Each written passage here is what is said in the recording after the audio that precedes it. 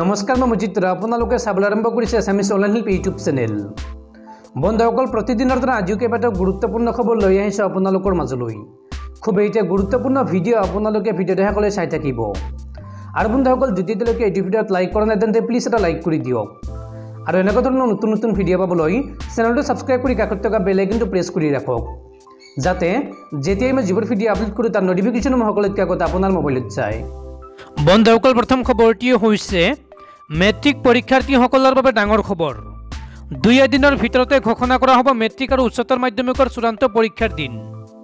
Covid পৰিস্থিতিৰ প্ৰতি লক্ষ্য ৰাখি ৰাজ্য চৰকাৰে স্থগিত ৰখা মেট্ৰিক আৰু উচ্চতৰ মাধ্যমিকৰ চূড়ান্ত পৰীক্ষাৰ সময়সূচী দুই এদিনৰ ভিতৰতে ঘোষণা কৰা হ'ব। আজি জনতা ভৱনত অনুষ্ঠিত এক সংবাদমেলত শিক্ষামন্ত্ৰী ডাক্তৰ ৰমেশ পেগুৱে এই কথা ঘোষণা কৰে। মেট্ৰিক আৰু উচ্চতৰ মাধ্যমিকৰ পৰীক্ষা সন্দৰ্ভত সাংবাদিকে সোধা প্ৰশ্নৰ উত্তৰত মন্ত্ৰীজনে কয় যে খুব সোনকালে আমি সিদ্ধান্ত ল'ম। বিভিন্ন সংগঠন বিভিন্ন বুদ্ধিজীৱী শিক্ষাবিদৰ পৰা মতামত গ্ৰহণ কৰা হৈছে। তেওঁ লগতে কয় যে বিভিন্ন পক্ষৰ পৰা মতামত লোৱা হৈছে আৰু ইতিমধ্যে এই সন্দৰ্ভত সিদ্ধান্ত গ্ৰহণৰ প্ৰক্ৰিয়া আৰম্ভ হৈছে। মন্ত্ৰী পেগুৱে জনোৱা অনুসৰি অনাগত দুই এদিনৰ ভিতৰতে হাইস্কুল শিক্ষান্ত আৰু উচ্চতৰ মাধ্যমিকৰ চূড়ান্ত পৰীক্ষাৰ সময়সূচী ঘোষণা কৰিব শিক্ষা বিভাগে। অৱশ্যে পৰীক্ষা কেনেধৰণে বা কি পদ্ধতিত অনুষ্ঠিত কৰিব সেই সম্পৰ্কত কোনো ধৰণৰ মন্তব্য প্ৰকাশ নকৰিলে শিক্ষামন্ত্ৰী ৰমেশ পেগুৱে। শিক্ষামন্ত্ৰী ৰমেশ পেগুৰ সৈতে সংবাদমেলখনত উপস্থিত আছিল ৰাজ্যৰ বিত্তমন্ত্ৰী অজন্তা নেওগ। বন্ধুসকল তাৰ পিছৰ খবৰটিয়ে হৈছে ৰাজ্য কপাই যোৱা অসম আৰক্ষীৰ এছ আই কেলেংকাৰীৰ অভিযুক্ত বিজেপি নেতা দিবন ডেকাৰ জামিন আবেদন নাকচ কৰিলে গুৱাহাটী উচ্চ ন্যায়ালয়ে। এছ আই কেলেংকাৰীত জামিন নাকচ বিজেপি নেতা জীৱন ডেকাৰ। অন্তৰ্বৰ্তীকালীন জামিন বিচাৰি উচ্চ ন্যায়ালয়ৰ দ্বাৰস্থ হৈছিল দিবন ডেকা। ন্যায়ালয়ে সকাহ নিদিলে এছ আই কেলেংকাৰীৰ অভিযুক্তজনক। নিম্ন আদালতৰ কেছ ডায়েৰী আৰু গোচৰৰ চাৰ্জশ্বীট বিচাৰিলে ন্যায়ালয়ে। দিবন ডেকাৰ অন্তৰ্বৰ্তীকালীন জামিনৰ পৰৱৰ্তী শুনানিৰ দিন ন জুন। বন্ধুসকল তাৰ পিছৰ খবৰটিয়ে হৈছে কভিড নাইণ্টিনৰ পিছত এইবাৰ ভোটৰ ওপৰত দানৱ অপৰাধী বিশ্বত আহি আছে কভিড টুৱেণ্টি ছিক্স আৰু COVID thirty two COVID twenty six আৰু কভিড থাৰ্টি টুৰ বাবে সাজু হওক বিশ্ব। ভৱিষ্যত মহামাৰী ভাবুকি প্ৰতিহত কৰিবলৈ হ'লে কভিড নাইণ্টিনৰ প্ৰকৃত উৎস বিচাৰি উলিওৱাত চীন চৰকাৰক বিশ্বই সহযোগিতা আগবঢ়াওক। কভিড নাইণ্টিনৰ প্ৰকৃত উৎস বিচাৰি উলিয়াব নোৱাৰিলে বিশ্ববাসীয়ে ইয়াতকৈ ভয়াৱহ কভিড টুৱেণ্টি ছিক্স আৰু কভিড থাৰ্টি টুৰ সন্মুখীন হ'বলৈ সাজু হওক। এই সতৰ্কবাণী আমেৰিকা যুক্তৰাষ্ট্ৰৰ দুগৰাকী শীৰ্ষ ৰোগ বিশেষজ্ঞৰ। ট্ৰাম্প প্ৰশাসনৰ ফুড আৰু ড্ৰাগ এডমিনিষ্ট্ৰেশ্যনৰ আয়ুক্ত স্কট গটলিবে চীনৰ ইউহানৰ গৱেষণাগাৰৰ পৰা চাৰ্চ কভ টুৰ ভাইৰাছ বিয়পি পৰা বুলি স্পষ্টকৈ উল্লেখ কৰি অনাগত সময়ত যাতে এনেধৰণৰ ঘটনা নঘটে তাৰ ওপৰত গুৰুত্ব দিবলৈ সকিয়নি দিয়ে। মন কৰিবলগীয়া যে চীনৰ ইউহানৰ পৰাই কভিড নাইণ্টিনৰ প্ৰাদুৰ্ভাৱ ঘটা বুলি বিশ্বজুৰি চৰ্চিত হৈ থাকিলেও চীন চৰকাৰে বাৰম্বাৰ এয়া অস্বীকাৰ কৰি আহিছে। গৱেষণাগাৰৰ বাহিৰৰ পৰা কভিড নাইণ্টিনৰ প্ৰাদুৰ্ভাৱ হোৱা নাই বুলি স্পষ্টকৈ উল্লেখ কৰি ভেকচিন বিকাশৰ টেক্সাছ চিলড্ৰেনছ হাস্পতাল চেণ্টাৰৰ সহ সঞ্চালক পিটাৰ হটেক্সে কয় যে যদি মহামাৰী ক'ৰ পৰা আৰম্ভ হৈছে সেই কথা প্ৰমাণ হোৱা পোহৰলৈ নাহে তেতিয়াহ'লে ভৱিষ্যত মহামাৰী কবলত বিশ্ব পৰাটো স্বাভাৱিক। এন চি বিৰ সৈতে হোৱা সাক্ষাৎকাৰত পিটাৰ হটেজে কয় যে কভিড নাইণ্টিনৰ প্ৰকৃত উৎস তথা ইয়াৰ সম্পূৰ্ণ তথ্য জ্ঞাত নহ'লে বিশ্ববাসীয়ে কভিড টুৱেণ্টি ছিক্স আৰু কভিড থাৰ্টি টুৰ সন্মুখীন হ'ব লাগিব। তাৎপৰ্যপূৰ্ণ যে কভিড নাইণ্টিনৰ প্ৰাদুৰ্ভাৱ হোৱাৰ পৰা ডেৰ বছৰ অতিক্ৰম কৰাৰ পিছতো এতিয়ালৈকে মহামাৰী ভাইৰাছটো সন্দৰ্ভত সঠিক তথ্য পোহৰলৈ অহা নাই। বন্ধুসকল তাৰপিছৰ খবৰটিয়ে হৈছে ৰাজ্য চৰকাৰৰ অভিনৱ সিদ্ধান্ত।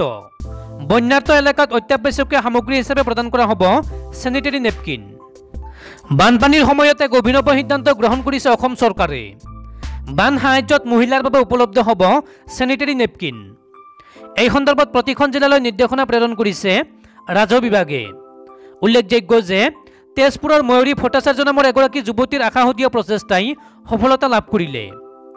বৰ্তমান চাকৰি সূত্ৰে পশ্চিমবংগত থকা ময়ূৰীয়ে দুবছৰ পূৰ্বে চেনিটেৰী নেপকিন অত্যাৱশ্যকীয় সামগ্ৰীৰ তালিকাত অন্তৰ্ভুক্ত হ'ব লাগে বুলি এক আন্দোলন গঢ়ি তুলিছিল।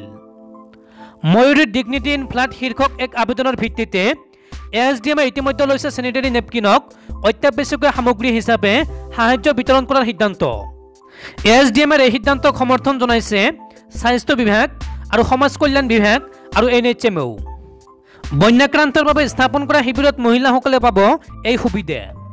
চলিত বৰ্ষৰ বাবে নিবিদা আহ্বানো কৰিছে এ এছ ডি এম এই চৰকাৰৰ এই সিদ্ধান্তক লৈ উৎফুল্লিত ময়ূৰী ভট্টাচাৰ্য। সকলো জিলা উপায়ুক্তই ৰাজহ বিভাগৰ এই পত্ৰ লাভ কৰিছে। পঁচিছ মেত ওলোৱা নিৰ্দেশনাত চেনিটেৰী নেপকিনৰ লগতে শিশু খাদ্যক তালিকা তালিকাভুক্ত কৰা হৈছে অত্যাৱশ্যকীয় সাহায্য সামগ্ৰীত। বন্ধুসকল তাৰপিছৰ খবৰটিয়ে হৈছে কিদৰে হ'ব অসম চৰকাৰে ঘোষণা কৰা এক লাখ পদত নিযুক্তি প্ৰক্ৰিয়া? জনালে বিত্তমন্ত্ৰী অজন্তা নেওগে। চৰকাৰে ইতিমধ্যে ঘোষণা কৰা এক লাখ নিযুক্তি কিদৰে হ'ব? সেই সন্দৰ্ভত সাংবাদিকে কৰা প্ৰশ্নৰ উত্তৰত মঙলবাৰে বিত্তমন্ত্ৰী অজন্তা নেওগে ইয়াৰ এক বহল ব্যাখ্যা আগবঢ়ায়। তেওঁ কয় যে বিভাগসমূহে কেনেকুৱা ধৰণে পথসমূহ পূৰণ কৰিলে গতিশীলতা আহিব তেনেকুৱা ধৰণৰ কথাবিলাক চিন্তা কৰিব। আমাৰ উদ্দেশ্য হৈছে ফলাফলৰ সৈতে চাকৰিৰ সৃষ্টি। যাতে যিসমূহ পদ পূৰণ কৰিলে প্ৰশাসনিক ব্যৱস্থাটোৱে এক নতুন গতি লাভ কৰে। এইদৰে কয় বিত্তমন্ত্ৰী অজন্তা নেওগে। এইপিনে এসপ্তাহৰ ভিতৰত বিভিন্ন বিভাগত খালী পদৰ সংখ্যা কিমান আছে তাৰ এক প্ৰতিবেদন বিভাগীয় মন্ত্ৰীসকলৰ পৰা বিচৰা হৈছে বুলি নেওগে সদৰি কৰে। আনহাতে বিভাগবিলাকে লক্ষ্য কৰিব যে কোনো পদৰ বাবে ইতিমধ্যে বাছনি পৰীক্ষা অনুষ্ঠিত হৈ গৈছে নেকি বা ৰিজাল্ট দিবলৈ বাকী আছে নেকি। এই কথা উল্লেখ কৰি তেওঁ লগতে কয় যে সেইখিনিও এই এক লাখ নিযুক্তিৰ ভিতৰতে অন্তৰ্ভুক্ত হ'ব। যি নিযুক্তিয়ে নিদিয়ক কিয় এই এক লাখৰ ভিতৰতে নিযুক্তি দিব লাগিব। এই নিযুক্তি প্ৰক্ৰিয়াৰ বাবে কিছুদিনৰ প্ৰয়োজন হ'ব। এই বুলি উল্লেখ কৰি বিত্তমন্ত্ৰীগৰাকীয়ে কয় যে বিভাগসমূহে কিমান পদ খালী আছে তাৰ প্ৰতিবেদন দিব। তাৰপিছত পুনৰীক্ষণ হ'ব। এই নিযুক্তি প্ৰক্ৰিয়াত কোনো ধৰণৰ যাতে খেলি মেলি নাথাকে আৰু সম্পূৰ্ণ নিকাকৈ যাতে নিযুক্তি দিব পাৰি তাৰ বাবে চিন্তা চৰ্চা কৰা হৈছে বুলি বিত্তমন্ত্ৰীয়ে জনায়। এই নিযুক্তি প্ৰক্ৰিয়া যাতে দীঘলীয়া নহয় বা খৰতকীয়াকৈ কৰিব পাৰি তাৰ বাবে চিন্তা চৰ্চা কৰি থকা হৈছে বুলি বিত্তমন্ত্ৰীগৰাকীয়ে উল্লেখ কৰে। বন্ধুসকল তাৰপিছৰ খবৰটিও হৈছে অসমত পুনৰ দ্ৰুতগতিত বৃদ্ধি পাই আছে কৰোণা ভাইৰাছত আক্ৰান্ত হোৱা আৰু মৃত্যু হোৱা লোকৰ সংখ্যা। অসমত বিগত চৌব্বিছ ঘণ্টাত নতুনকৈ পুনৰ চাৰি হাজাৰৰো অধিক লোক আক্ৰান্ত হৈছে মহামাৰী ক'ভিড নাইণ্টিনত। অসমত বিগত চৌব্বিছ ঘণ্টাত এক লাখ পোন্ধৰ হাজাৰ পাঁচশ তেৰগৰাকী লোকৰ ক'ভিড টেষ্ট সম্পন্ন কৰা হৈছিল। আৰু ইয়াৰে ভিতৰত চাৰি হাজাৰ ছশ বিৰাশীগৰাকী লোকৰ ক'ভিড নাইণ্টিন পজিটিভ ধৰা পৰে। আৰু বিগত চৌব্বিছ ঘণ্টাত অসমত নতুনকৈ একাৱন্নগৰাকী লোকৰ মৃত্যু হৈছে। বন্ধুসকল তাৰপিছৰ খবৰটিও হৈছে, অৱশেষত চি বি এছ ইৰ দ্বাদশ শ্ৰেণীৰ পৰীক্ষা বাতিল কৰা হ'ল। প্ৰধানমন্ত্ৰী নৰেন্দ্ৰ মোদীৰ অধ্যক্ষতাত অনুষ্ঠিত হোৱা বৈঠকত লোৱা হ'ল এই সিদ্ধান্ত। চি বি এছ ইৰ দ্বাদশ শ্ৰেণীৰ পৰীক্ষা বাতিল। দেশত কৰোণা ভাইৰাছৰ দ্বিতীয় ঢৌৰ বাবে বাতিল কৰা হৈছে দ্বাদশ শ্ৰেণীৰ পৰীক্ষা। প্ৰধানমন্ত্ৰী নৰেন্দ্ৰ মোদীৰ অধ্যক্ষতাত পৰীক্ষাক লৈ হোৱা বৈঠকত এই সিদ্ধান্ত গ্ৰহণ কৰা হয়। বিকল্প ব্যৱস্থা গ্ৰহণ কৰি কৰা হ'ব ছাত্ৰ ছাত্ৰীৰ মূল্যাংকন। ছাত্ৰ ছাত্ৰীৰ স্বাস্থ্যৰ সুৰক্ষা সকলোতকৈ গুৰুত্বপূৰ্ণ। আৰু ইয়াৰ ওপৰত কোনো ধৰণৰ আপোচ কৰা নহ'ব বুলি মন্তব্য কৰে প্ৰধানমন্ত্ৰী নৰেন্দ্ৰ মোদীয়ে। এই সিদ্ধান্তৰ পিছত বিদ্যাৰ্থী শিক্ষক আৰু পিতৃ মাজত পৰীক্ষাক লৈ সৃষ্টি হোৱা উৎকণ্ঠাৰ অন্ত পৰিব বুলি মন্তব্য কৰে প্ৰধানমন্ত্ৰী মোদীয়ে। মোদীয়ে কয় যে এনে চাপত বিদ্যাৰ্থীক পৰীক্ষাৰ কাৰণে হেঁচা প্ৰয়োগ কৰিব নালাগে। বন্ধুসকল তাৰপিছৰ খবৰটিও হৈছে ৰাজ্যত ড্ৰাগছ নিৰ্মূল নোহোৱা পৰ্যন্ত ড্ৰাগছৰ বিৰুদ্ধে অসম আৰক্ষীৰ যুঁজ চলি থাকিব। এই মন্তব্য অসম আৰক্ষীৰ ডি জি পি জ্যোতি মহন্তৰ। ৰাজ্যত ড্ৰাগছ বিৰোধী অভিযানত সমুখ সমৰত নামিছে অসম আৰক্ষী। সামাজিক ব্যাধিত পৰিণত হোৱা ড্ৰাগছক পুলিয়ে পখাই নাইকিয়া কৰিবলৈ অসম আৰক্ষীয়ে ৰাজ্যজুৰি চলাইছে নিৰন্তৰ অভিযান। ড্ৰাগছ নিৰ্মূল নোহোৱা পৰ্যন্ত এই যুঁজ চলি থাকিব। এই মন্তব্য অসম আৰক্ষীৰ সঞ্চালক প্ৰধান ভাস্কৰ জ্যোতি মহন্তৰ। মঙলবাৰে এক সংবাদমেলযোগে সঞ্চালক প্ৰধানগৰাকীয়ে প্ৰকাশ কৰা অনুসৰি মে' মাহত মুঠ আৰক্ষীয়ে দুশ ঊনসত্তৰটা ড্ৰাগছ বিৰোধী গোচৰ ৰুজু কৰিছে। সেই অনুসৰি জানুৱাৰীৰ পৰা মে' মাহলৈকে মুঠ ছশ ওঠৰটা গোচৰ ৰুজু কৰাৰ বিপৰীতে মে' মাহত মুঠ এক হাজাৰ আঠজন ড্ৰাগছ ব্যৱসায়ীক গ্ৰেপ্তাৰ কৰিছে আৰক্ষীয়ে। আনহাতে বিগত বৰ্ষতো অসম আৰক্ষীয়ে ড্ৰাগছৰ বিৰুদ্ধে নশ আশীটা গোচৰ ৰুজু কৰাৰ লগতে দুই হাজাৰ বিছ চনত মুঠ এক হাজাৰ ছশ বাৱন্নজনক গ্ৰেপ্তাৰ কৰিছে আৰক্ষীয়ে।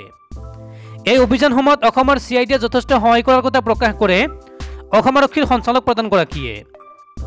ইফালে ধুবুৰীত ড্ৰাগছ সৰবৰাহৰ লগত জড়িত আটক আৰক্ষী বিষয়াৰ গোচৰটো চি আই ডিক প্ৰেৰণৰ যোজা চলোৱাৰ কথা প্ৰকাশ কৰি ড্ৰাগছ সেৱনকাৰীসকলক অপৰাধী হিচাপে গণ্য নকৰিবলৈও ৰাইজলৈ আহ্বান জনাই অসম আৰক্ষীৰ সঞ্চালক প্ৰধান ভাস্কৰ জ্যোতি মহন্তই। বন্ধুসকল তাৰপিছৰ খবৰটিয়ে হৈছে কভিড ৰোগীৰ মৃত্যুক কেন্দ্ৰ কৰি কভিড যোদ্ধাক নিৰ্মম প্ৰহাৰ। ঘটনা সন্দৰ্ভত এজনক আটক। হোজাই জিলাৰ ওদালিৰ কভিড কেয়াৰ চেণ্টাৰত কৰ্মৰত কনিষ্ঠ চিকিৎসকক ৰোগীৰ অভিভাৱকে প্ৰহাৰ কৰা ঘটনা সন্দৰ্ভত এজন অভিযুক্তক আটক কৰিছে অসম আৰক্ষীয়ে। ইতিমধ্যে এই ঘটনা সন্দৰ্ভত অসম আৰক্ষীৰ সঞ্চালক প্ৰধানে এই কথা টুইটাৰযোগে প্ৰকাশ কৰিছে। উল্লেখযোগ্য যে সজাই জিলাৰ ফুলতলী আদৰ্শ কভিড চিকিৎসালয়ত মঙলবাৰে দুপৰীয়া ভাগত ডেৰ ঘণ্টা ধৰি এগৰাকী কভিড ৰোগীক চিকিৎসা প্ৰদান নকৰাত ৰোগীগৰাকীৰ মৃত্যু ৰোগীগৰাকীৰ মৃত্যু হোৱাক লৈ এই পৰিস্থিতিৰ সৃষ্টি হয় বুলি অভিযোগ কৰিছে। ইয়াৰ উপৰি কভিড ৰোগীগৰাকীৰ মৃত্যু হোৱাক লৈ ৰোগীৰ আত্মীয় চিকিৎসালয়খনৰ বয় বস্তুৰ লগতে আচবাব ভাঙি পেলায়। লগতে প্ৰহাৰ কৰে চিকিৎসালয়ত কৰ্মৰত কৰ্মচাৰীৰ লগতে চিকিৎসককো প্ৰহাৰ কৰাৰ অভিযোগ উঠিছে। এই ঘটনার পাছতে ভারতীয় চিকিৎসা সংস্থা এই ঘটনাৰ তীব্ৰ বিৰোধিতা কৰাৰ লগতে দোষীক উচিত শাস্তি প্ৰদানৰ দাবি জনাইছে।